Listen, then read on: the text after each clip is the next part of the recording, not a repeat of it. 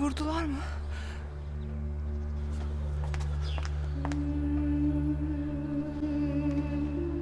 Ya Mesude? Yok. Mesude'nin bir şey yok gelin ağam. Muharrem onu korumak için kendini namlunun önüne atmış. Bunu nasıl yapar? Nasıl bu kadar vicdansız olabiliyorlar? Sıla, iyi misin? Hadi Sıla, derin bir nefes al. Sakin ol. Ayşe, çabuk buraya gel. Dokunma bana. Tamam Sıla, dokunmuyorum. Ama sen de kendini üzme bu kadar. Bebeğimizi düşün. Hadi biraz dinlen şimdi. Elena. Hadi yat da dinlen biraz. Rengin solmuş vallahi. Sakın beni. Ben gayet iyiyim. Her şeyi ayarlamıştım. Nasıl olur? İstanbul'da onları yiyip benim yaşam bekliyordu. Azat ve Narin gibi onları ayırdılar. Sıla, sen onların kaçmasına yardım mı ettin? Evet ettim. Başka çare bırakmadın ki bana. Berdel dedin. Töreye mahkum ettin onları. Ama ağam o hükmün kararını Bana düşen de onları buradan göndermekti. Ama yapamadım. Ah Sıla, yine acele ettin. Yine beni beklemeden hareket ettin. Evet acele ettim. Ve bu yüzden ben de senin kadar suçluyum. Senin Yezdağ'ın ailesine verdiğin sözün bu kadar ciddi olduğunu anlamadığım için suçluyum. Muharrem ve Mesude'nin önünde bu kadar çabuk çıkacaklarını düşünemediğim için suçluyum. Ben de en az senin kadar suçluyum Bora. Sıla, Mollalar bu işe girmedi. Muharrem'i öldüren onlar değil. Beni daha fazla aptal yerine koyma Bora. Sana yemin ederim onlar değil Sıla. Ben yanlarındaydım. Öyle olsaydı ilk benim haberim olurdu. Bu işe bulaşmamış olmanı o kadar isterdim ki. Oğlumun babası Sıla, Şivan çabuk doktor çağır. baş üstüne ağam. Hadi Sıla, kendine gel. Ayşe su getir. Hemen. Kendine gel. Aç gözünü Sıla, aç gözünü. Hadi.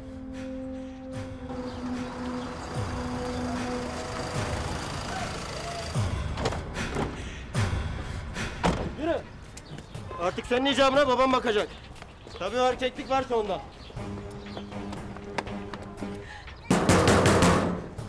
Aç kapıyı emmi. Kızın sana geri getirdik. Evin içinden kaçan kızdan haberin yok. Açsana kapıyı be adam.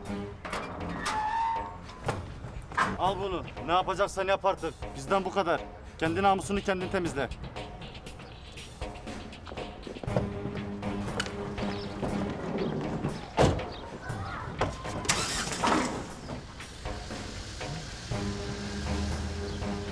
Kızım ne oldu? Kim yaptı? Vallahi abi ben adamlara iyice tembih ettim. Kızı vurun oğlan sağ kalsın diye. Ama Oğlan vurulmasaydı bu acıyla Bora'nın üzerine salardık. Ama olan olmuş ne yapalım.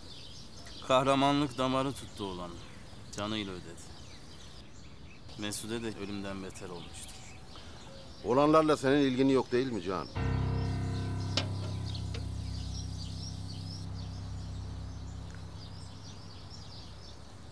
Hani yaptıklarımızın hesabını kimseye vermeyecektik baba. Gereken neyse oldu. Bizi aşiretten attılar. Ama kanımızı da değiştirecek değiller ya. Biz buyuz. Kimse beni bu işten alıkoyamaz.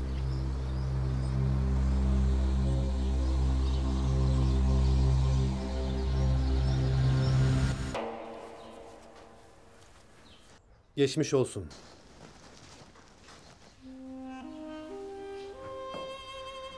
Eşiniz hamileliğinin son aylarında. Stresten, sıkıntıdan uzak kalmalı. Bugün dinlensin. Bol sıvı verin. Vitaminlerini düzenli alıyor değil mi? Alıyor ağam. Kendi ellerimle sabah akşam içiriyorum. Şu anda Sıla Hanım'ın ciddi bir durumu yok. Tansiyonu da normale döndü. Ama bir değişiklik olursa haber verirsiniz. Sağ olun doktor bey, zahmet verdik. Şivan size hastaneye kadar götürsün. Geçmiş olsun Bora Sağ Bey. ol. Buyurun doktor. Ağam ben de gelin ağama ayran aşı yapıp getireyim. Tamam Ayşe. Sen işine bak ben buradayım.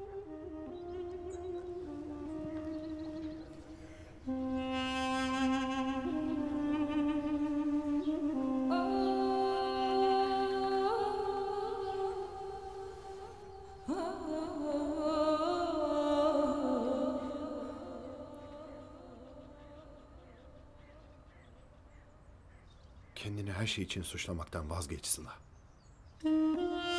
Bu olanlar senin suçun değil. Bambaşka bir dünyadan koparılıp geldin buraya. Daha küçücük bir kız çocuğuydu. İsteyerek olmasa da ben bile kötülük yaptım sana.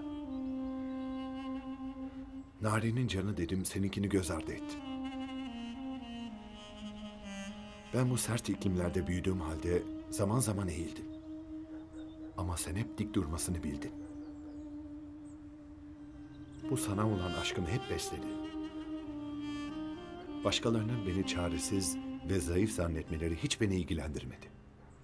Çünkü benim için güzel ve değerli olan tek şey senin sevgiyle bana bakışın ve aşkın oldu. Eğer bu yara alırsa işte o zaman ben ölürüm sana.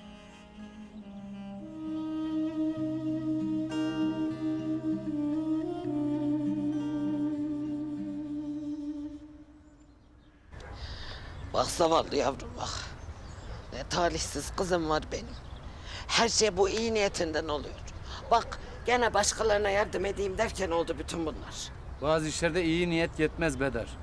Hele töre denen belanın karşısına iyi niyetle hiç çıkılmaz.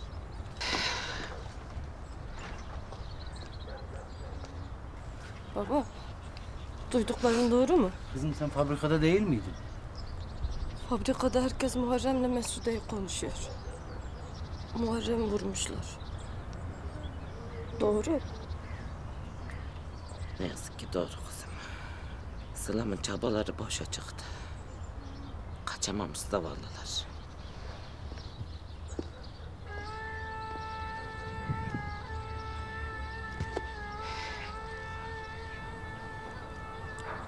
Sonu gelmeyecek değil mi bunun? Azat hep ilk aşk vardı, en sonunda aşk olacak derdi. Öyle değilmiş işte. Azat yetmedi Muharrem'i de verdiler topraklara. Onca çaba hiçbir işe yaramıyor.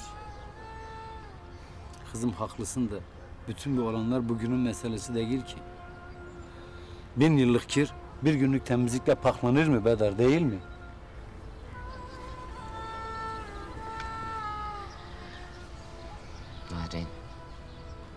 Sizin kuzunuz yaşamayacak yavrum bunları.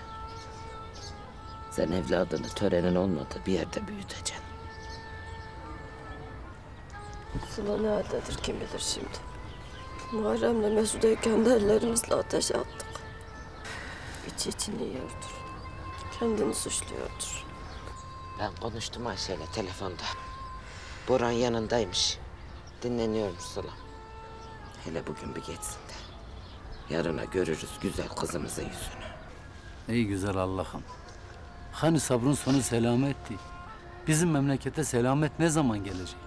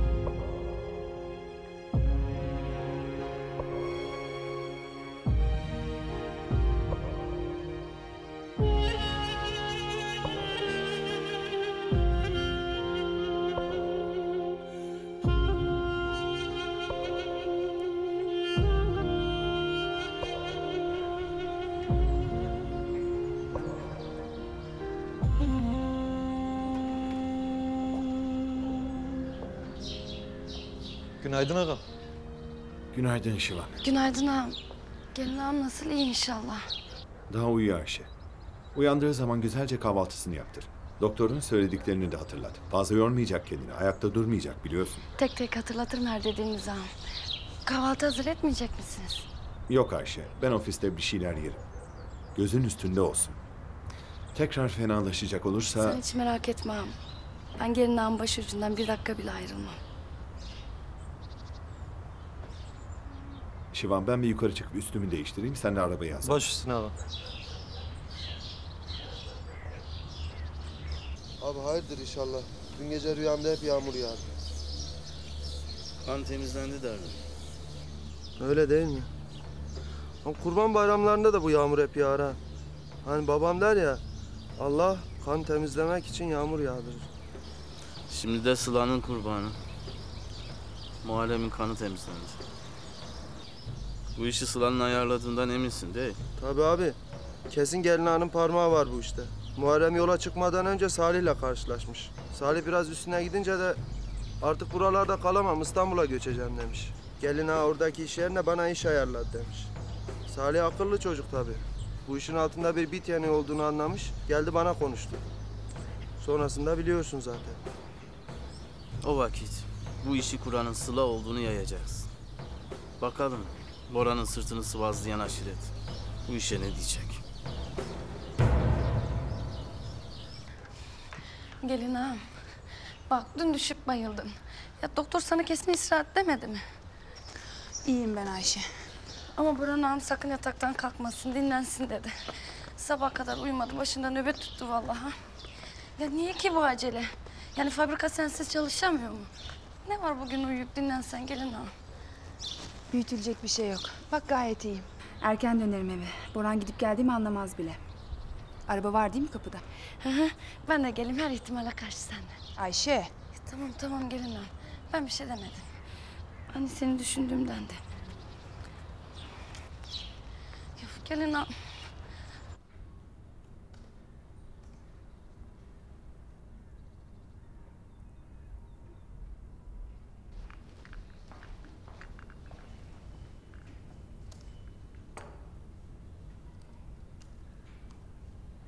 Ağam, bağın kızma. Haddimi yaşayan biliyorum. Ama dünden beri içim içim iyi. Sen Mesude ile Muharrem'e hükmünü kaldırıp mollaları bu işe ikna etmişken gelin ağam hala seni katillerle aynı kefeye koyuyor. Niye konuşmuşsan ağam? Niye gerçekleri söylemişsen gelin ağama? Sen sustukça onun kini büyüyor. Halbuki bilse gerçekten neler yaptığını bel... Şivan, Sıla bir tek bana öfkeli değil. Bir tek beni suçlu tutmuyor. Kendisini de suçluyor bütün olanlarda. Zamansız, tedbirsiz hareket ettim. Muharrem benim yüzümden öldü diye içi yanıyor Sıla'nın. Varsın o kendini katil bileceğine beni katil bellesin.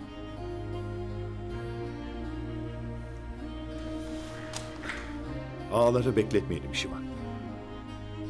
Bugün benim ricamla toplanacaklar.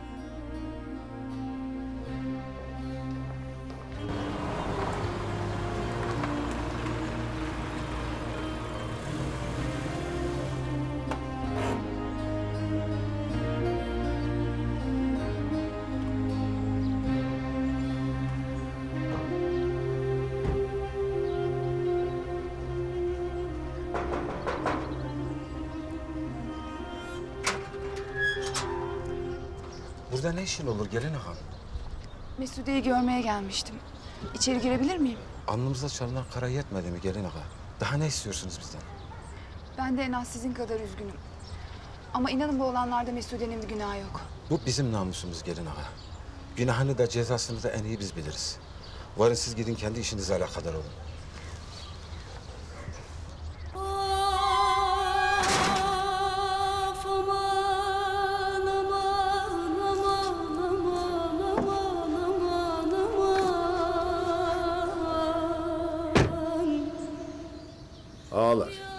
Mollalarla konuşmak için Diyarbakır'a gittim. Mahmut bu berdeli istemediğini söyledi ağalarına. Onlar da bu karardan icazet etmemi istediler. Ben de uygun gördüm. Berdel onların hakkıydı. Madem ki kendileri vazgeçti, denecek bir şey yoktur. Keşke bu haberi Muharrem ölmeden önce getirebilseydim. İyi dersin de Borona. Muharrem'i mollalar vurdurmuş. Pusuyu kuran da onların adamlarıymış. Gelin istemedikleri bir insanı niye öldürmek istesinler Osman Ağa? Söylediğinin akıllı bir tarafı var mı? O vakit Mesude'nin üstüne de hüküm vermenin manası kalmamıştır. O zaten hayatının en büyük bedelini ödedi. Müsaaden olursa Ali Ağam, Mesude'nin üstündeki hükmün beraatini isterim. Berdel ortadan kalktığına göre kızın cezasının da bir hükmü kalmamıştır. Haklısınız ağalar. Berdal kalkmıştır. Ama bu kız Muharrem'le yollara düşmedi mi? Bu gerçeği ne değiştirir? Hem onlara yardım eden çok uzaklarda da değilmiş. Cihan'ın ağzı olup gelmişsin buraya Selami. O mu ezberletti bu sözleri sana? Niye öyle dedin ki ağam? Ben bildiğim ve gördüğüm sözleri edeyim karşınızda. Bana kızıysan ama bu gerçekleri değiştirmeyi ki. Uzun etme Selami. Kısa konuş. Muharrem'in kaçması için düzeni gelin ağamız kurmuş. Onları konuşurken görenler olmuş. Orhan, buna bir diyeceğin var mı? Saçmalık demekten başka ne söyleyeyim Ali Ağam? Sıla kendi yaşadıklarından sonra kimseyi kaçırmaya kalkmaz. Gelin ağamızın başına ne gelmiş ki? Gül gibi yaşayıp gidiyor. Bildiğini okumaya devam ediyor hala. Sen kimin karşısında olduğunu unuttun mu? Hangi cüretle gelini anladığın ağzına alırsın?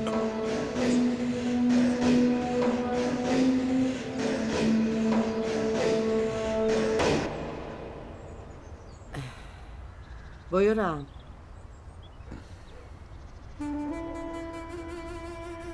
Ağam, iyi değilsin sen. Sustun kaldın kaç gündür. Gündüzleri konuşmaz, geceleri uyumaz oldun. Bir doktora gitsek.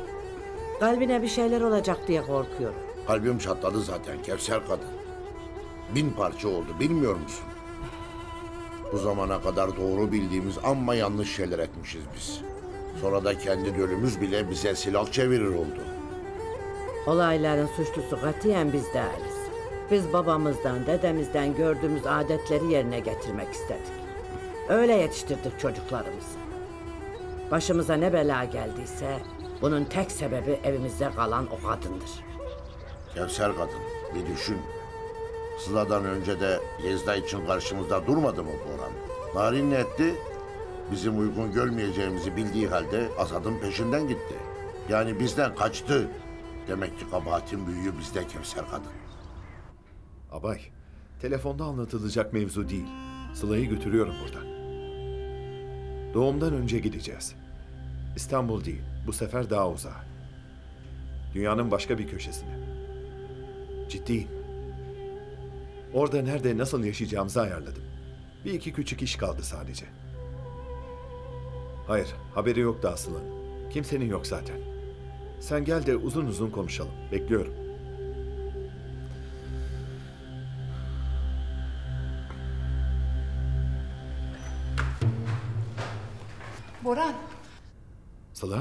Hayırdır? Bir şey mi oldu? Boran. Ben Mesude için bir şeyler yapmak istiyorum. Senden başka güveneceğim, yardım isteyeceğim kimse yok. Onu daha güvenli bir yere almalıyız. Onun arkasında olmak istiyorum.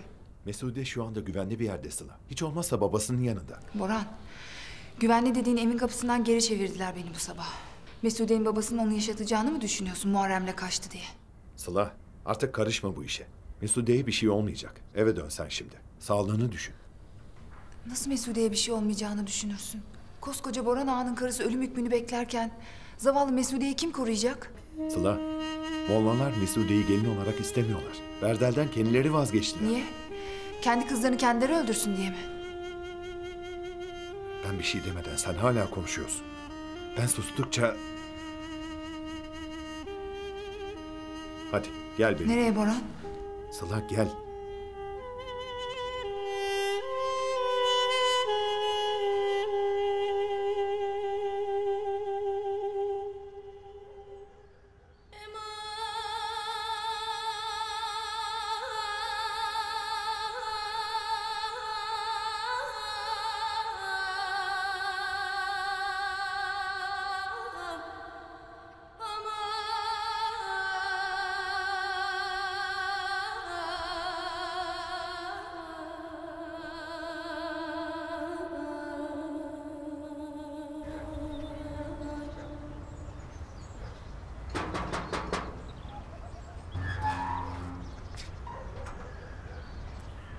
hoş gelmişsin. Buyur içeri.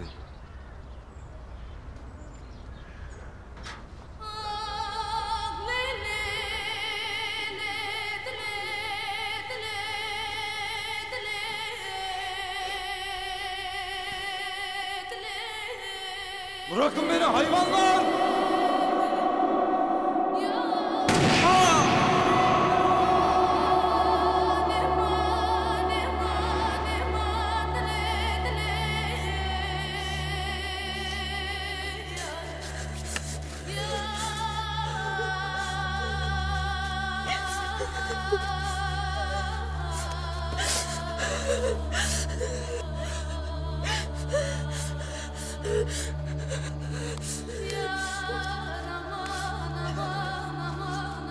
Aşiretin ileri gelenleriyle konuştum. Mesude'nin üstündeki berdelden mollalar kendi istekleriyle vazgeçti. Böylelikle Mesude'nin üstündeki berdel kalkmıştır. Şimdi müsaade et de kızı görelim. Kızının canını bağışladın ağam. Sağ olasın. Ama ben milletin ağzına düşen namusumu nasıl aklayacağım? Sen kızının namusunu herkesten iyi bilirsin. Başkasının ne dediği önemli değil. Sen yüreğinin sesini dinleyeceksin. Kızının başına bir hal gelse daha mı iyi olacak?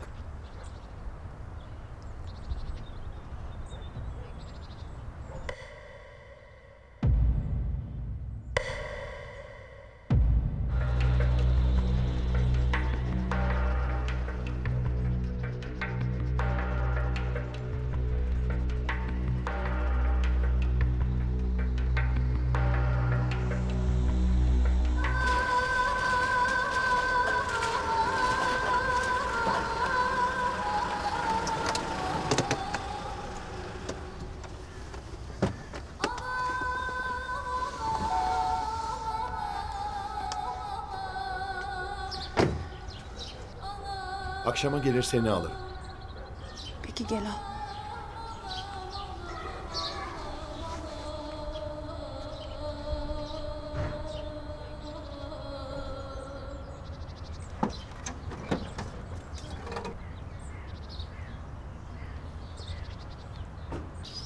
Kız onlar gelmeden kendini asmamış mı?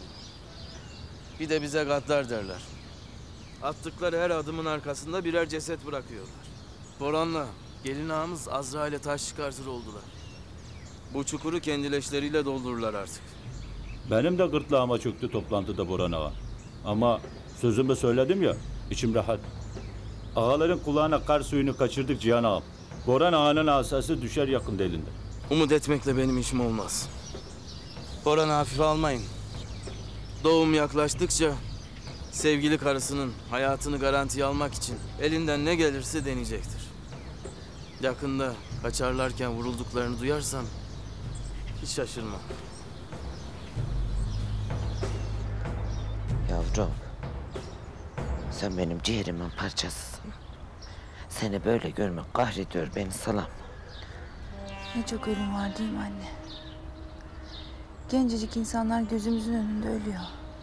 Abi, Muharrem, Mesude. Oğlum annesinin tedbirsizliği ve aceleciliği yüzünden bunların başına geldiğini bilse. Nasıl bakarım onun yüzüne? Kuzum. Sen artık başkaları ölmesin diye uğraşıyorsun. Oğluna ben anlatacağım seni.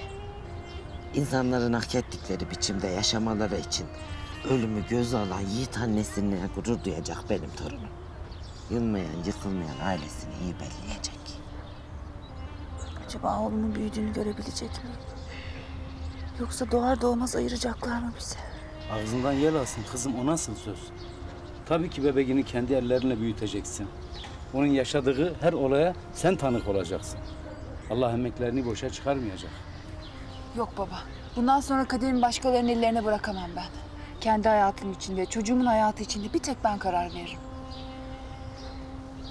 O yüzden beni burada tutan bağları incitmeden, acıtmadan koparıp başka bir yol bulmanın vakti geldi. Sılam, aklından neler geçiyor yavrum? Zamanı geldiğinde anlatacağım anne. Kızım, arkasını önünü düşünmeden hareket etme. Önce düşün, sonra hareket et. Yoksa başımıza dönüşü olmayan işler gelir kızım. Haklısın baba. Mesudelerin kaçma olayında olduğu gibi değil mi? Ama artık duygusal hareket etmeyeceğim. Aklımla, mantığımla olması gerekeni bulup onu yapacağım. Acele etmeden. Ama geç de kalmadan.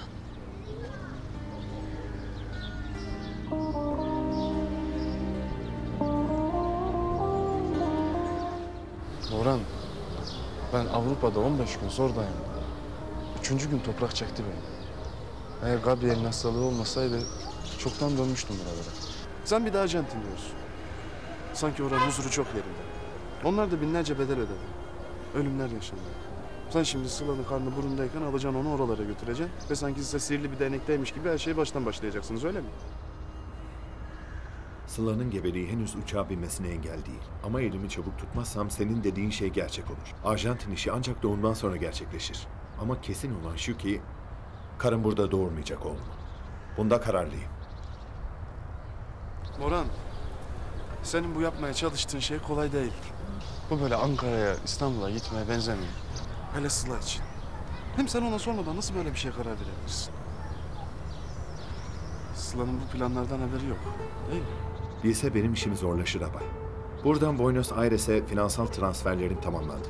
Bir de orada yaşayan bir abimiz vardı. Üniversitede okul yıllarında tanışmıştık. Onunla irtibat halindeyiz iki aydır. Bizim için evi o buldu. Dayalı, döşeli, konforlu bir yer. Kusura bakma ama hala bu anlattıklarını benim aklım almıyor. Başka seçeneğin var mı abay? Sen benden daha iyi bilmiyor musun kalırsak neler olacak? Burada ya da ülkenin başka bir yerinde hüküm üzerimizde olduğu sürece ben geceleri gözümü kırpmadan yatacağım karımın yanında. Benim Sıla'ya tören hükmünden başka vereceğim daha anlamlı bir doğum hediyem olmalı.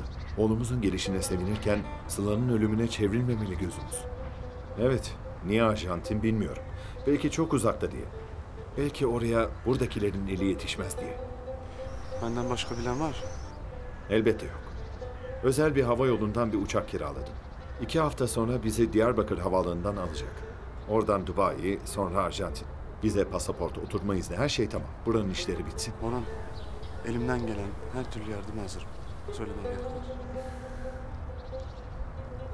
Sen de gelirsin bir gün abay. Yok. Ben buralardan giderim. Gidemeyen insanlardandım ben. Yeniden başlayabilseydim eğer, hiçbir şey taşımazdım yanımda. Ve eğer yeniden başlayabilsem ilkbaharda pabuçlarımı fırlatır atardım. Ve sonbahar bitene kadar yürürdüm çıplak ayakla. Bilinmeyen yollar keşfeder, güneşin tadına varır, çocuklarla oynardım. Bir şansım olsaydı eğer. Kimin sözleri bunlar? Borges. Arjantin'i öğrenirken en çok da Borges çıkıyor adamın karşısına. Bizim Sıla'yla bir şansımız var. Ve ölmeden gideceğiz buradan abay.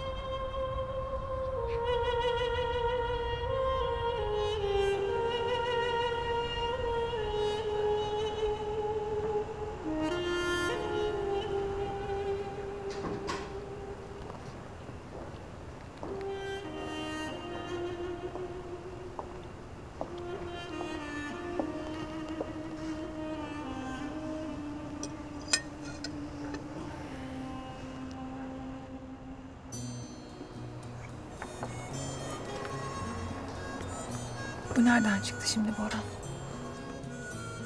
Tango. Ne kadar hüzünlü değil mi? Evet öyle.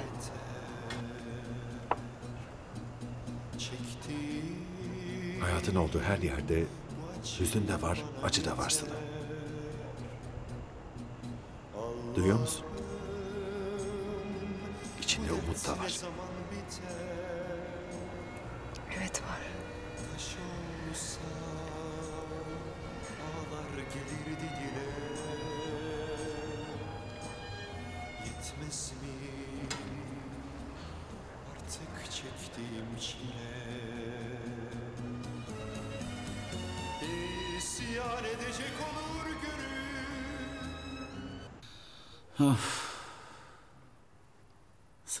Gerçekten gidecek mi? Peki gittiği yerde biz olacak mıyız? Kendisi, torunumuz güvende olacak mı? Kal diyebilir miyiz Celil? Bu katliamın içinde kıza kal diyebilir miyiz? Battıkça batıyoruz. Sılam önden biz arkadan battıkça batıyoruz. Kendi bir hal çaresi bulduysa bize de kabul etmek düşer. O çareyi bulduysa inşallah.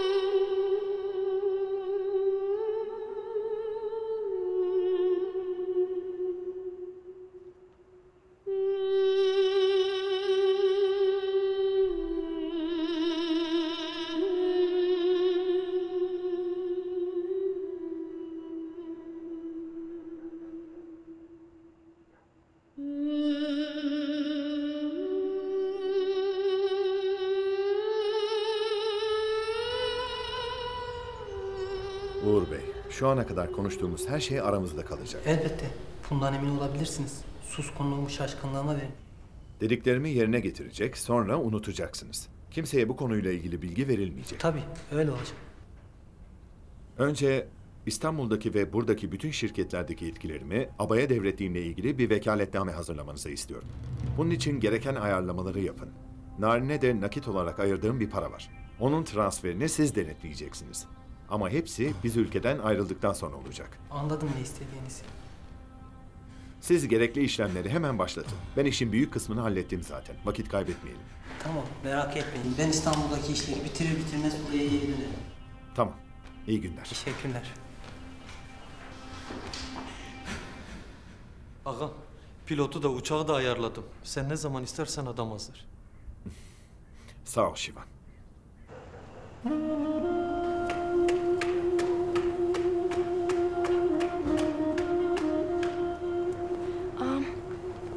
Gelin ağam yemeğini babası Gül'de mi yiyecek?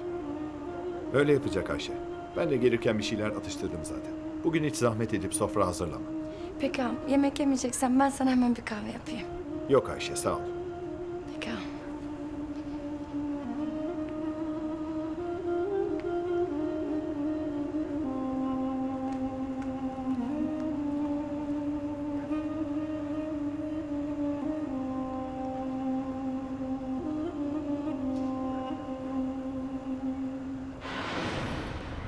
Sensiz hiçbir şey yapmak istemiyorum.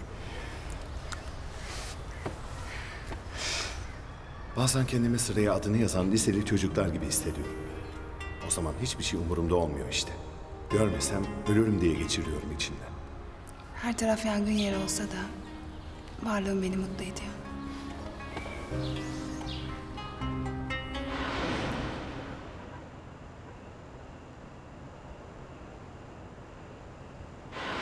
Dizildi tepsiye. Ama taştan fincan oyulamadı. Sevdalara doyulamadı. Gider ayak işlerim var bitirilecek. Gider ayak.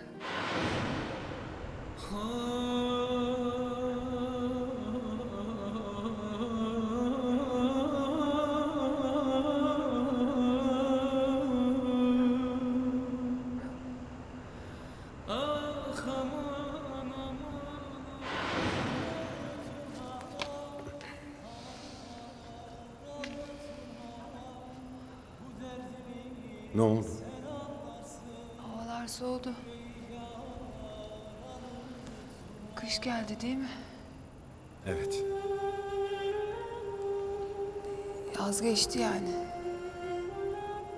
Geçti. Ama yine gelecek. Merak etme.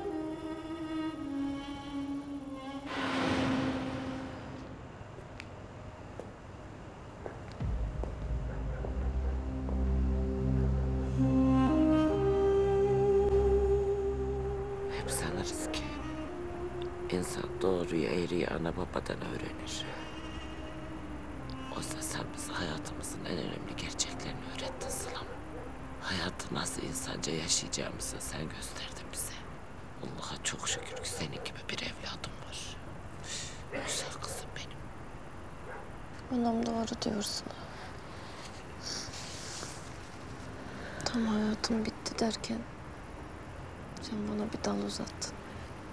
Ben o yeşeren dalı tuttum. Senin gücün olmayaydı. Ben şu evin odasından odasına geçemezdim.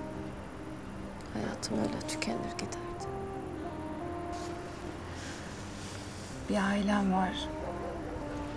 Onlarla her koşulda güven içinde yaşadığımı düşünüyordum. Ama bir gecede her şey değişti. Önceleri isyan ettim. Kabul etmek istemedim hiçbirinizi.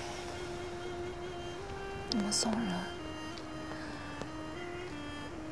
anladım ki ben buraya sizlere aitmişim. Ayrılmak ölüm gibi geldi. Her ne yaptıysam sizden aldığım güçle yaptım. Şimdi burada işim bitti. Buradan giderken de aynı güçle durmanızı istiyorum yanımda.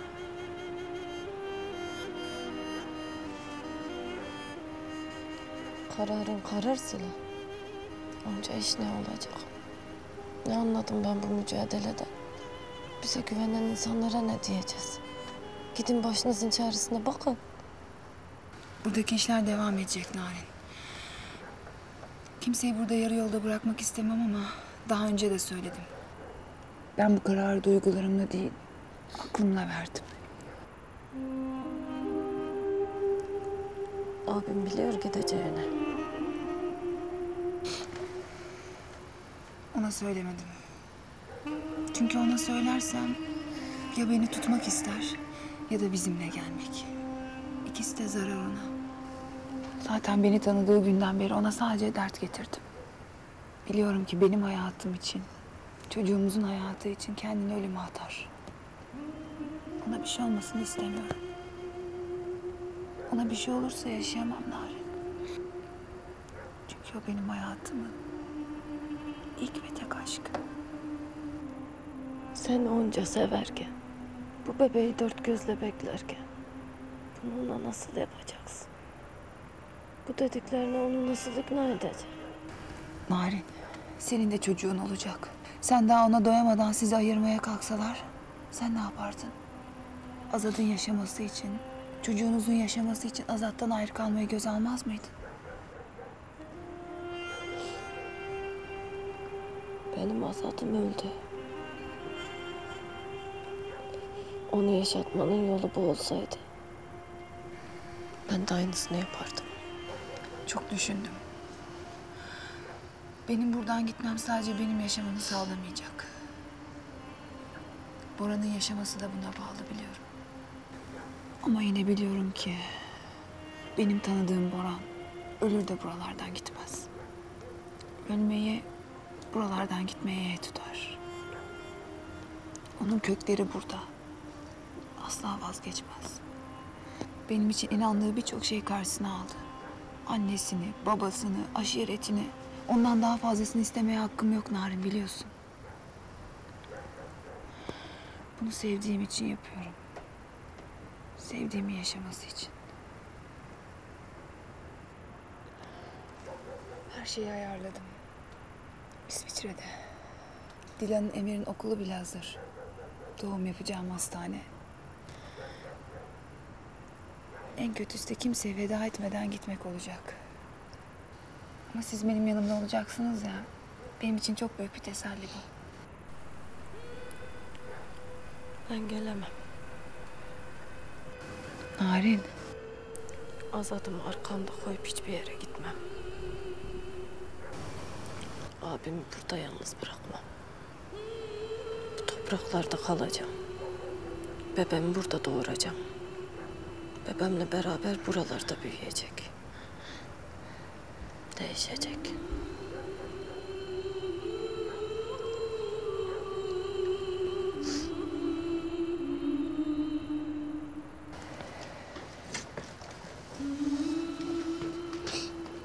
İyi akşamlar Yegin Hanım. Gelin ağam, Baran ağam arabada seni bekliyor. Geliyorum Harun. Peki gelin ağam. Ben gidiyorum. Yarın konuşuruz zaten. Ama burada yapılacak işleriniz varsa elinizi çabuk tutun. Önümüzdeki hafta buradan gideceğiz. Size söz veriyorum. Her şey daha güzel olacak. İyi geceler Nalan.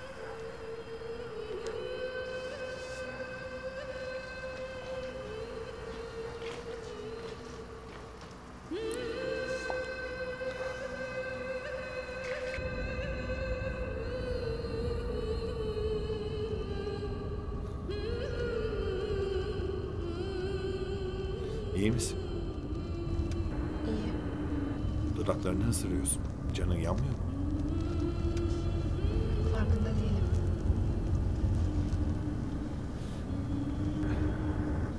Senden bir ricam olacak Sıla. Tabii. Elimden gelirse. Bizim Ahmet'i tanırsın. Onun oğlu yarın sünnet olacakmış. Biliyorum. Fabrikaya davetiye göndermişler. Benden kirvesi olmamı istedi. Ben de ricasını kıramadım. İyi yapmışsın. Sen de benimle sünnete gelir misin diyecektim. Hem anneni babanı da getirirsin. Ama benim yarın sabah fabrikaya gitmem gerekiyor. Ne olsun gidersin. Zaten öğleden sonra. Peki gelirim. Sağ ol Sıla. Beni çok mutlu ettin. Hem oğlumuz büyüyünce başına gelecekleri öğrenir.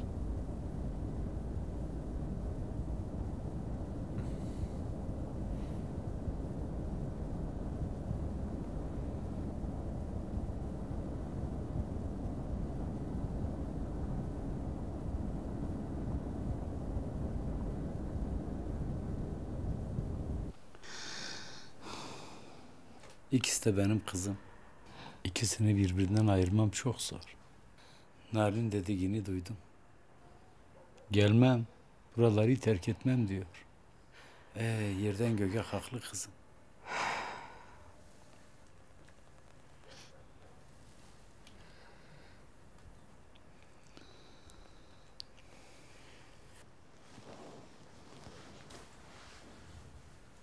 Vedar. Canımın içi bebeğim. Bana izin versen de ben burada Narin'le kalıp ona göz kulak olsam. Sen de Sıla'mın yanında olsan. Ah Celil'im. Biz bugüne kadar hiç ayrı düşmedik senden. Hep bu yastığa baş koyduk. Nasıl olacak şimdi böyle? Sen bensiz. Ben sensiz. Başka bir yolu varsa göster bana da Bedar. Benim için kolay mı zannediyorsun? Hiçbir zaman ayrılmayacağız diye kendimize yemin etmiştik değil mi? Ama şimdi Sıla'nın doğacak bebeğinin canı hepimizden kıymetli Bedar.